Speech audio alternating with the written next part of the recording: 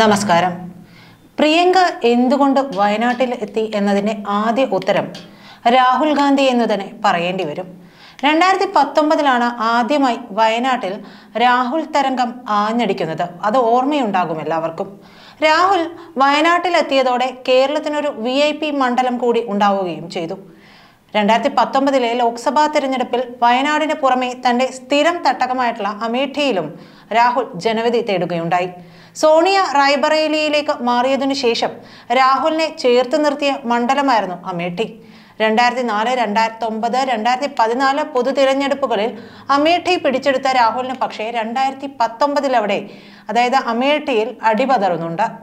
പയറ്റിത്തെളിഞ്ഞ അമേഠിയിൽ രാഹുലിന് പരാജയം നേരിടേണ്ടി വന്നു. എന്നാൽ കേരളത്തിലെ ഏറ്റവും ഉയർന്ന ഭൂരിപക്ഷത്തോടു കൂടിയാണ് അന്ന് രാഹുൽ വയനാട്ടിൽ ജയിച്ചത്.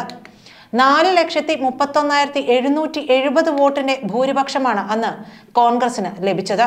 രണ്ടായിരത്തി പത്തൊമ്പതിലെ ലോക്സഭാ തിരഞ്ഞെടുപ്പ് ഫലം കോൺഗ്രസിന് സമ്മാനിച്ചതാണെങ്കിൽ വലിയ നിരാശയായിരുന്നു.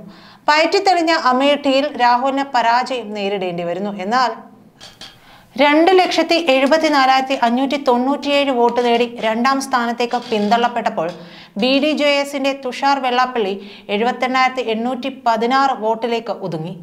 രണ്ടായിരത്തി ഇരുപത്തിനാലിലെ ലോക്സഭാ തെരഞ്ഞെടുപ്പിൽ രാഹുൽ വീണ്ടും വയനാട്ടിലേക്ക് എത്തി അന്ന് നെഹ്റു കുടുംബത്തിന്റെ വിശ്വസ്തനായ കിഷോരിലാൽ ശർമ്മയെ അമേഠി മണ്ഡലം ഏൽപ്പിച്ചു.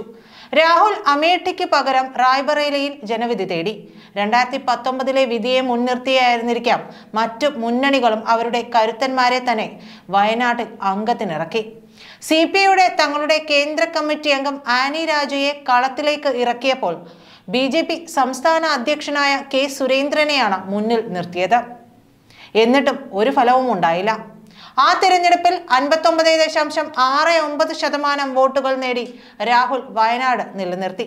സി പി ഐ സ്ഥാനാർത്ഥി ആനി രാജ രണ്ട് ലക്ഷത്തി എൺപത്തി മൂവായിരത്തി ഇരുപത്തി മൂന്ന് വോട്ട് നേടി രണ്ടാം സ്ഥാനത്തെത്തിയപ്പോൾ ഒരു ലക്ഷത്തി നാൽപ്പത്തൊന്നായിരത്തി നാൽപ്പത്തഞ്ച് വോട്ടാണ് കെ സുരേന്ദ്രന് ലഭിച്ചത്. മത്സരിച്ച രണ്ടാമത്തെ മണ്ഡലമായ റായ്ബറേലിയിലും രാഹുൽ വിജയിച്ചു.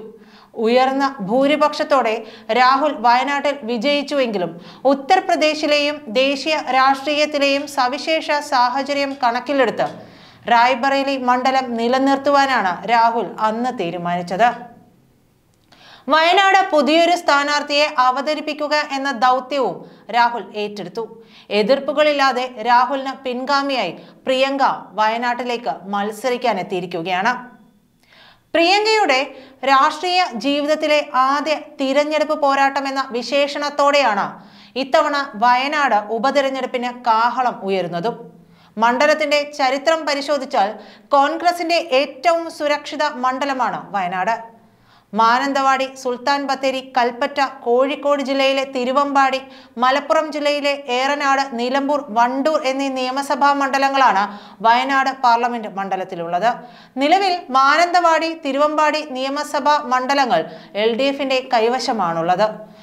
എൽ ഡി എഫ് ലേബലിൽ നിലമ്പൂരിൽ ജയിച്ച പി വി അൻവർ ഇപ്പോൾ ഇടത് വിരുദ്ധ പാളയത്തിൽ നിലയുറപ്പിച്ച യു ഡി എഫിനെ പിന്തുണയ്ക്കുന്ന നിലപാടാണ് സ്വീകരിച്ചിട്ടുള്ളത്.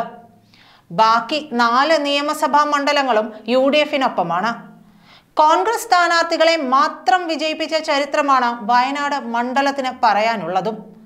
വയനാട് പാർലമെന്റ് മണ്ഡലം രൂപീകരിച്ചതിനു ശേഷം രണ്ടായിരത്തി ഒൻപതിൽ നടന്ന ആദ്യ തിരഞ്ഞെടുപ്പിൽ കോൺഗ്രസിനൊപ്പമായിരുന്നു വിജയം. അന്ന് യു ഡി എഫിന്റെ സ്ഥാനാർത്ഥിയായ എം ഐ ഷാനവാസ് വിജയിച്ചത് ഒരു ലക്ഷത്തി അൻപത്തി മൂവായിരത്തി നാനൂറ്റി മുപ്പത്തൊമ്പത് വോട്ടിന്റെ ഭൂരിപക്ഷത്തിലായിരുന്നു. സി പി ഐ സ്ഥാനാർത്ഥിയായ എം റഹ്മത്തുള്ളയായിരുന്നു അന്ന് ഷാനവാസിന്റെ എതിരാളി. പിന്നീട് രണ്ടായിരത്തി പതിനാലിലും വയനാട്ടുകാർ എം ഐ ഷാനവാസിനെ കൈവിട്ടില്ല.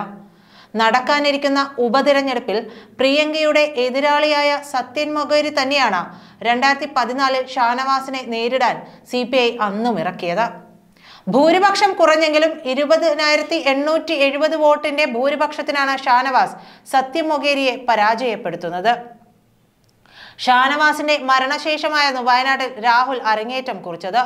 രണ്ടായിരത്തി പത്തൊമ്പതിലെയും രണ്ടായിരത്തി ഇരുപത്തിനാലിലെയും രാഹുലിന്റെ വൻ ഭൂരിപക്ഷം വയനാട്ടിൽ കോൺഗ്രസിന്റെ ആധിപത്യം അരക്കിട്ട് ഉറപ്പിക്കുകയും ചെയ്തിരുന്നു. നന്ദി.